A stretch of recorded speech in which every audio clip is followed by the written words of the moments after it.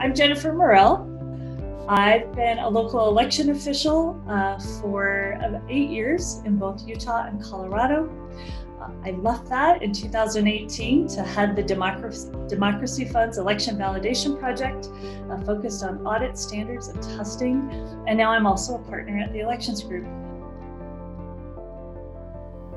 That's the question I get a lot is how are voters going to know and are they going to use them? Once you've thought through the process of, of purchasing them and installing them and staffing them and branding them and, and you've got your procedures down, um, informing the public is going to be probably the most critical thing that you do both in building trust and confidence um, and also providing that service, really thinking about how to get the word out uh, within your community with whatever resources you have. So, utilizing everything that's available to you, talking to uh, civic groups in your community, making sure that information about that ballot drop box is available in all the printed material that you might send to a voter.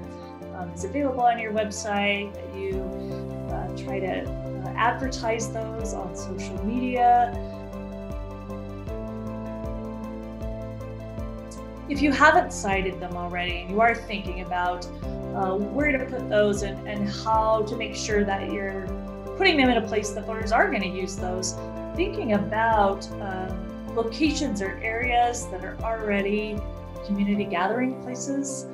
Um, citizens um, are likely to be coming um, to or from or parking, so that might be a civic center, a library, a recreation center, um, recognizing that a lot of those places probably are closed or could be closed because of COVID, but it doesn't mean that they're any less recognizable